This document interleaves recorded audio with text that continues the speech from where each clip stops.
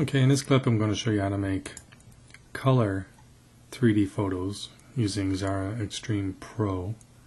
Now these 3D images you need to wear the red and blue 3D glasses to view them. So the first thing you do is you need to take two images with your digital camera. One image for the left eye and another for the right. And when you're taking a picture of something up close or even in macro mode, you don't need to move the camera too much between uh, the left and right. Compared to like if the subject's further away, you can move it like both the distance between one eye and the other. But when you're when you're closer, you don't need to move it that much. And you can experiment and see which turns out the best. But so right now, I'm just going to position these in the middle of the page and move it to the back. This is this is our left eye, and that's our right eye image. You can remember the right eye will be turning red, so right and red. Remember that. The left eye will do that first. Change the colors. So we have that selected, and then uh, Utilities. Open up the Xara Picture Editor now in Xara Xtreme Pro, it has levels options here.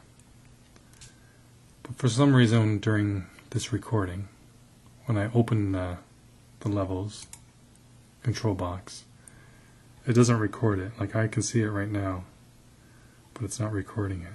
And there's a drop down, see? But you can't see all the other controls. So to make things a bit easier, just for this recording, I captured an image of what it looks like. And this is what it looks like. This is not this is what's not being recorded. So do this again. I have this image selected, our left eye. Go to the utilities, open the picture editor, and then open up the levels control. Now, Xara Xtreme Pro has these levels options. Xara Xtreme doesn't have that, so. Now, this is our left eye image. In the drop down menu, I'm going to select green, the green channel. And then this black arrow here, just click and drag it and move it all the way to the end.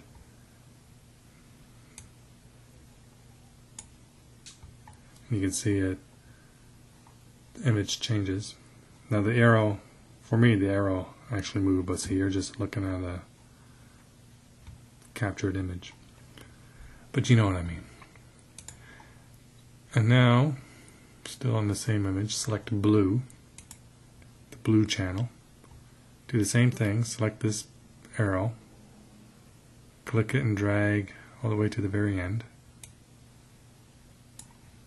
you can see the image changes to like a cyan. So we accept that. Now that closes. This would close too, but now I'm going to select that. Well, if you have 3D glasses, no, if you put them on, if you shut your left eye, you just look through your right eye filter, you see like nothing. It looks like a white screen. Then you close your right eye and look through the left eye, you can see the image. So that's how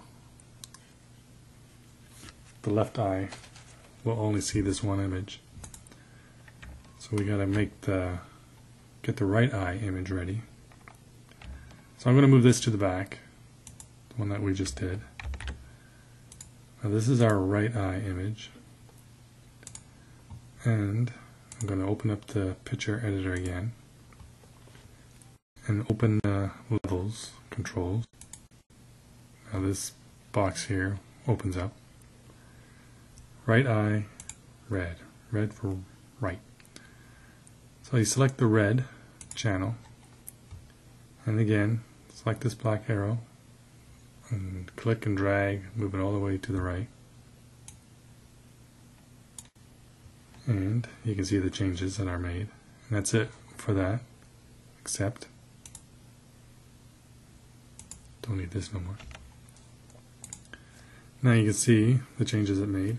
Now this, if we do the same thing, look through the 3D glasses, do the opposite, close our right eye, through the left eye we see nothing, close our left eye, and the right eye sees an image. But we need to see them both at the same time, so have this one selected, the one we just did, our right eye image. Select the transparency tool. Select stained glass. So now we can see through it. You can see both. But we need to uh, line them up a bit better. And I'm going to use this leaf here and line it up with the two images so they overlap exactly.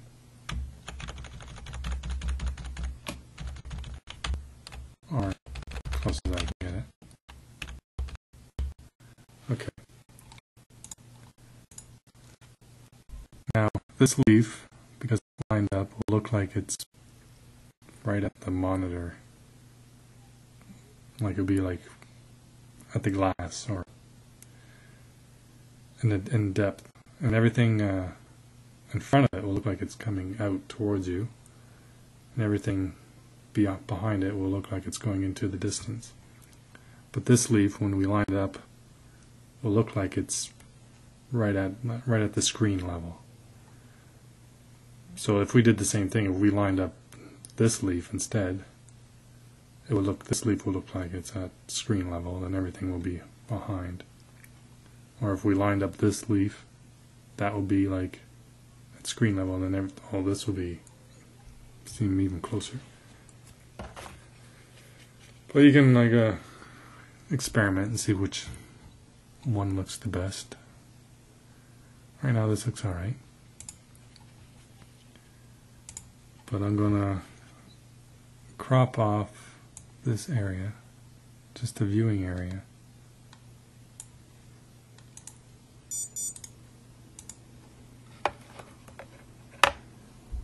And so you see you don't need uh, this stuff here.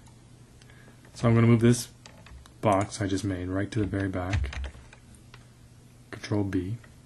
Select everything, Control A. And press Q for the clip view. So now looks a bit cleaner. And that's pretty much it. Turned out alright. It's in 3D.